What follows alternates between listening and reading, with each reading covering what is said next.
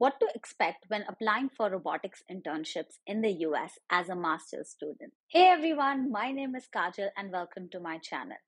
Today we're going to talk about how to apply for robotics internship and what to expect during the interview process.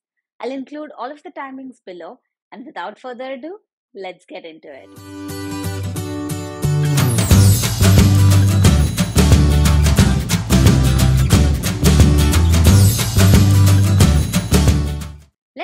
With where to look for robotics internships. First, LinkedIn and follow any hashtags related to robotics, and it's a great resource to find out about all the internships that are happening now. Number two is AngelList. Now, compared to LinkedIn, AngelList is a much smaller platform, but it's also more popular among startups. That's how I found my internship as well. And given a lot of robotics companies are startups, AngelList is a really good platform to look for them. Third, newsletters. Now, there are some robotics specific newsletters such as Robotics Worldwide and also one by RoboHub. Lastly, I also have a robotics newsletter where I put internship and full time job opportunities both in US and India. I'll put a link here or here. Make sure to check it out. Now, what happens after you've applied for your robotics internship? First, you go through resume review. So, someone at the company will look at your resume and decide which are the candidates they want to interview further. Now, when it comes to robotics internships or full time position, especially software robotics engineering positions, you should expect a coding challenge. Now, this could be in two formats. One is you're giving a coding challenge similar to what you would see in LeetCode or HackerRank, and second is a take home coding challenge. Now, both of this are testing for different things and thus require a different approach. When it comes to LeetCode style coding challenge, you're expected to solve the question really fast and have a good solution as well.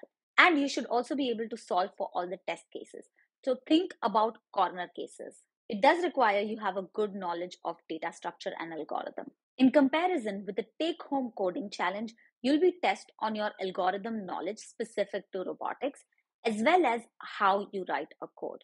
So when it comes to algorithm, for example, you could be asked to write a path planning algorithm. So if you know A star, then you can write that algorithm for them. And the second factor is how you write code. This means comments or documentation, test cases, the structure of your code, that is use of functions and classes, and much more.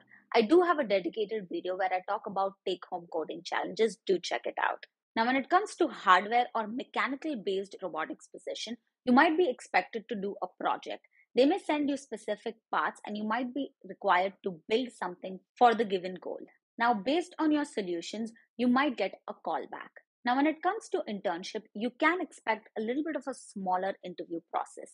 By this, I mean you can expect two to three rounds of interviews. Now, after your coding challenge, you will move on to in person interviews. Now, these in person interviews will once again challenge your coding skills as well.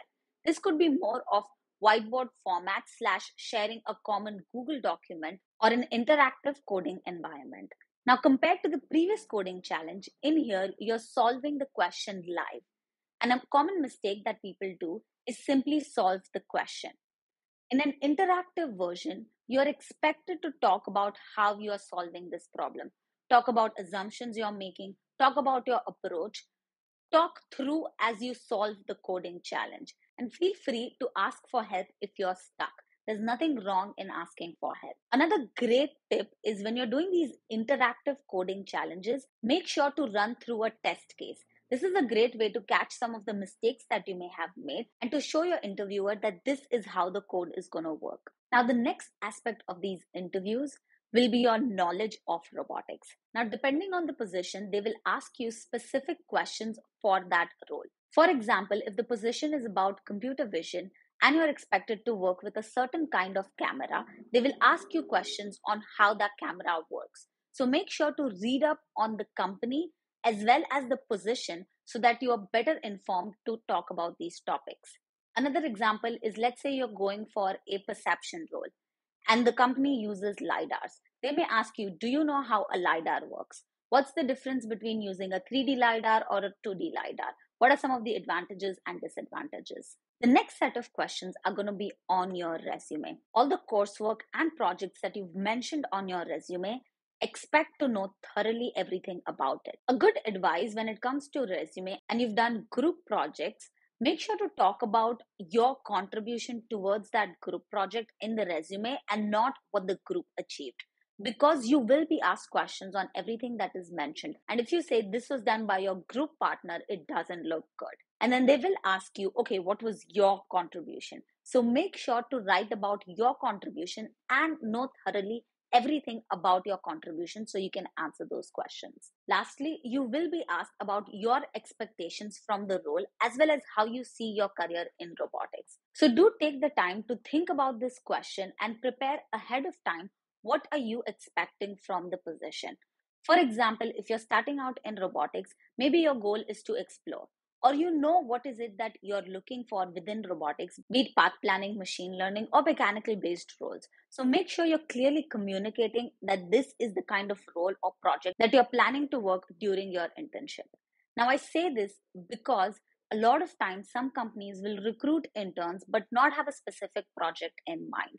So don't leave this communication gap and make sure you communicate what are the type of projects you're hoping to work on. Also similar to any internship you will be asked behavioral questions so make sure to prepare for them as well. Now another aspect of these interviews is your attitude as well. And when it comes to internship they might not expect you to know everything but they do expect that you have an attitude where you're eager to learn and to contribute.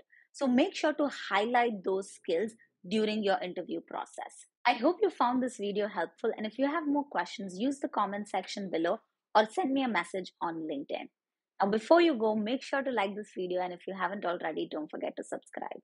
Thank you for watching and I'll see you in the next video.